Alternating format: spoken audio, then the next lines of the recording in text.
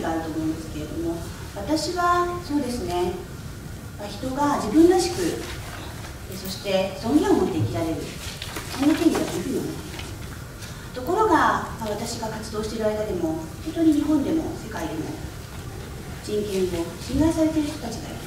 だから私たちが活動を続けているんですね。で私たちの活動えの中核というのは深刻な人権侵害の被害に遭った人たち、えーだけれども声を上げられない人たちに代わって声を上げえーそして解決を求めるというところにする。でなぜそうした活動が必要になると思いますか？人権侵害っていうのは多くの場合力の強い人権力を持っている人から力の弱い人そして抵抗ができなさそうな人に対して向けられて行われるものです。そして被害に遭うと被害者の方は一層無力な立場に置かれ声が上げられない状況になってしまうんですね。そうすると多くの場合人権侵害っていうのは実際には深刻なのになかったことにされて闇に葬られそして続いていく時なんですね。で私たちはその闇に光を当ててできればその闇をなくしていきたいということで活動しているんです。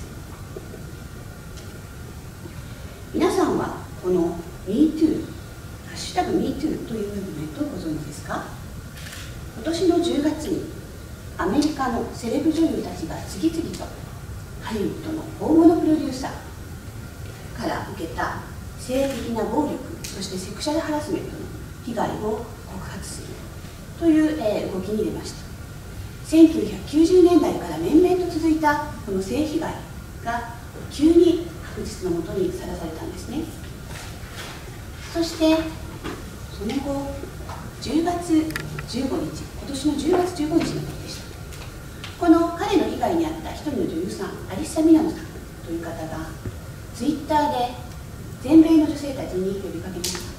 性暴力被害はこんなに深刻なんだからそのことを私たちも被害に遭いましたということを MeToo というハッシュタグをつけてシェアしていきませんかということを呼びかけたその翌日までになんと全米で50万回の以上のリツイートがこれに呼応して私も被害に遭いましたということを声にありましたそしてさらにこれが世界中に広がってアメリカでもヨーロッパでもそして世界中で私も被害に遭ったという声が上げられてい。ったんですヨーロッパでは政治家の方々までも私も被害に遭ったという声を始めそして男性政治家からの被害について訴え始めました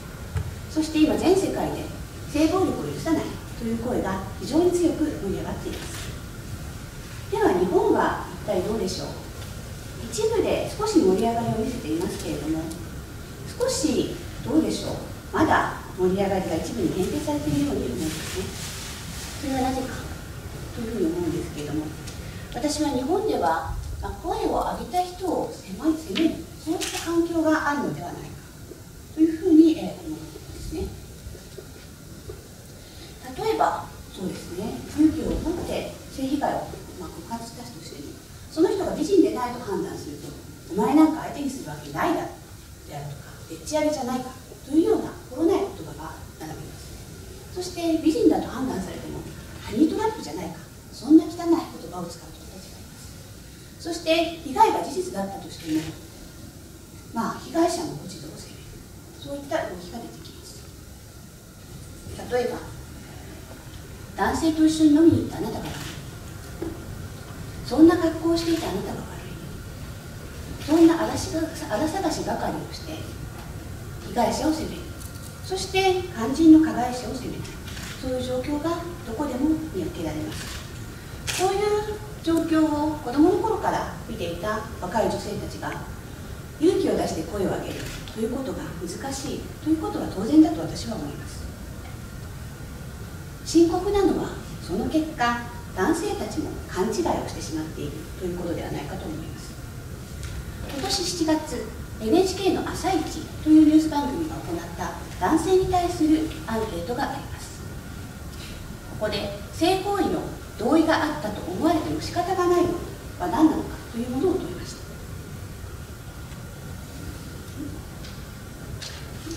マイクがマイクのスイッチが入っていないどうしましょう。あすいませんでした。大丈夫ですか？はいよかったです。はい。ではここから進めていきますね。はい、でではこの「朝一のアンケート見ていきます。2人で飲酒をした場合27%の男性がそして女性が露出度の高い格好をしていた場合23%の男性がそして女性が泥酔していた場合にはなんと35%の男性が性行為の同意があったと考えられても仕方がないというふうに回答したんですね。皆さん女性から見るとこれどう思います？非常にとんでもないですよねこんなことではうっかり男性と一緒に飲みに行ったりもできません。そして泥酔しているなら介抱してほしい。病院でも連れてってほしいと思うのに性行為をするなんてとんでもない話だと思いませんか？ところがこのアンケートでも分かる通り本当にこのような非常識がまるで常識のようにまかり通っているわけなんですね。そして残念ながらこれは世間だけではなく司法の世界でも同様なんです。この女性伊藤詩織さんという方は男性のジャーナリストと一緒に会食をした後突然意識がなくなった。そして気が付いた時には意に反する性的暴行を受けていた。ということで、えこの被害について男性をレイプの犯罪で刑事告訴をしました。ところが検察が下した結論これは何だったかというと不起訴という結論だったんですね。彼女だけではないです。私も弁護士ですのでこういったケースをたくさん見てきましたけれども性犯罪そうですね。女性から見てどう見ても同意があったとは思えないような性被害の事案でも加害者の方が処罰をされるということは本当に稀です。その都度、まあ、被害者が悔し涙に暮れる。これを私もたくさん見てきました。しかし私は思うのです。こういった告発も今出ています。だからこそ性暴力に寛容な社会を今すぐ変えていかなければならない。私はそのことを強く皆さんに訴えたいと思います。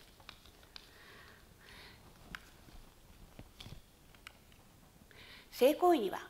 明確な同意が必要です。相手から明確な同意がない場合性行為をすることは許されません。このことをきちっとしたルールとしていくことが必要ではないでしょうか。日本の刑法は意に反するすべての性行為を処罰するように法改正されるべきです。私はこのことを強く訴えたいと思っています。そして社会の意識もぜひ変わってほしいと思います。特に若い人たちに訴えたい。性行為で傷つく人が出ないように悲しむ人が出ないようにみんなで話し合って新しい性に関するカルチャーを作っていってほしいなというふうに強く望みます。そしてセクシャルハラスメントについても同様です。これについてはすでに明確なルールがいろんなところで決まっていますね。それでもセクハラは横行しています。これは人事院というところが作っている規則です。見てください。明確なルールがあります。これがきちんと実施されていればセクハラに苦しむ人も減っていくでしょう。ぜひ皆さんでこういうことを知ってそして議論をしていってほしいなというふうに思っています。こちらの先ほどの伊藤詩織さん。自分と同じ被害に遭う人がいなくなるようにと思ってあえて実名で被害を告発し訴えています。その彼女の勇気に対して応援してくれる人ももちろんいます。ところが心ないバッシングも結構あるというんですよね。皆さんどうでしょう？そして最近聞きました。最近日本でも MeToo のハッシュタグをつけてインターネットでつぶやく人それに対して心ないバッシングがあるというのです。これではなかなか運動が進んでいかないですよね。声を上げた人に対してバッシングが進んでいくということがあると声を上げられない無数の人たちも含めて将来にわたって泣き寝入りをしなければならないそんな社会がそんな観光が続いていきます。ですから私たちが今すべきことは声を上げた人を一人にしないこと。そして勇気を出して声を上げた人の声を受け止めてできることなら応援していくことではないでしょうか。私たちヒューマン・ライツ・ナウが取り組んだ活動の一つにアダルトビデオの出演共有問題というものがあります。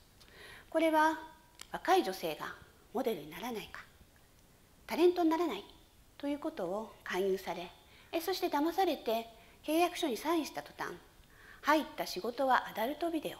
そして契約書にサインした以上義務があります。そしてこれをやらないとすれば多額の違約金を払わなければならない。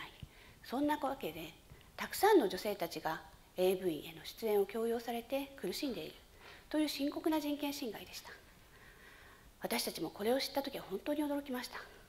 しかし被害者の方々のお話を聞きながら調査報告書を昨年の6月昨年3月ですね。3月にまとめて発表しました。これは大きく報道されましたけれどもその時に私たちを待っていたのはそして被害者の方々を待っていたのはそんなのはでっち上げではないかという大きなバッシングの声でした。でしかしそんなバッシングのさなかに被害者の方々が実は私も被害に遭いましたということを実名で声を上げて告発をしてくれました。そうした告発があるたびにメディアが大きく取り上げそしてこれが社会問題とそして今年の5月日本政府はこの AV 出演強要問題は女性に対する重大な人権侵害であるということで政府としてきちんとした対策を取っていくということを決定し現在実行に移しています。あのバッシングが非常に厳しかった時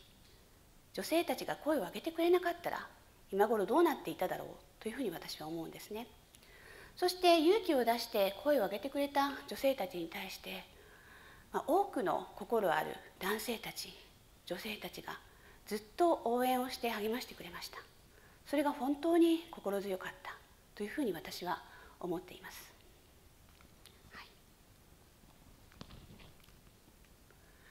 皆さん最近声を上げる人たちに対してはなかなか厳しい視線が向けられることが多いですね。例えば性暴力の被害だけでなくても今年であっても航空会社バニラエアっていうところに対してそこの待遇が悪いということを訴えた障害者の男性。そして熊本市議会で議場に子どもを連れて入ろうとした女性の方議員。その方々がまるでトラブルメーカーであるかのようにバッシングの対象になったということがありました。そのバッシングの内容は何だったかというと、まあ、声を上げた人権利を、まあ、主張した人たちがどちらかというと調整が不足している。既存のルールを守らなかった。そういうことで、まあ、バッシングの対象になったのです。しかし皆さん考えてください。よくこの人たちの訴えを聞いてみると実は障害者にとってアクセスのしやすい社会を求めている。そして子育て世代が政治や社会にもっと参加できるようにしたいというふうに考えている。そういった本当の伝えたかった議論に私たちが誠実に向き合って話し合っていけば実はもっといい社会を作れたのではないか。そういうふうに思うと私はとても残念に思っています。少し遡ってみましょう。1960年代アメリカ。公民権運動というものが起きて黒人に対する人種差別は良くないという運動が高揚しました。このきっかけとなったものは何かというと一人の若い女性が当時白人しか座れないバスの席にあえて座ってそして既存の秩序にノーということを声を上げて、まあ、行動で示した。その結果彼女は逮捕されてしまったんですね。だけれども彼女の声に励まされ行動に励まされ共感を持った人たちが陽言の日のごとく黒人差別を許さないという運動を作りそして公民権法ができた。こうしてアメリカの歴史は大きく変わりました。日本でも同じ1960年代に起きたことがあります。それは皆さん知らないかもしれないですけれども当時女性は30歳で職場を定年しなければならない。という不当なそういったルールが全国津々浦々の会社でありました。女性たちは仕方がないので我慢して30歳で定年していました。ところがある一人の女性がこれはおかしいということで会社を訴えたのです。裁判に訴えてそしてこのルールは憲法違反ですというふうに言いました。確かに憲法は男女平等を規定しています。会社のルールであっても憲法に違反する差別を含むものは無効になります。最高裁判所はそのように認めて彼女を勝たせました。こうして女性だけ30歳で定年しなければならないというルールは全国で撤廃されたのです。女性もずっと働き続けていきたい。当たり前の要求ですよね。でもそんな当たり前のことでもこの一人の女性がおかしいということを声を上げなければいまだにもしかしたら続いていたかもしれないのです。私たちはこういう声を上げる人の恩恵を被って今の時代を生きているんですね。私たちは不当なルールおかしな慣習があった場合声を上げてそれを変えていくことができる。そしてその出発点となるのがまず一番最初に声を上げる人。なんですね。声を上げる人というのはトラブルメーカーではなくチェンジメーカーなんだというふうに私は思います。だからこそ声を荒げる人をバッシングするのではなくその人たちの声にきちんと耳を傾け応援して応援していくことが必要ではないでしょうか。私は人権侵害人権問題に取り組んでいますので人権侵害が長引く構図というのはいつも同じだというふうに思っています。一つは加害者が圧倒的に強いこと。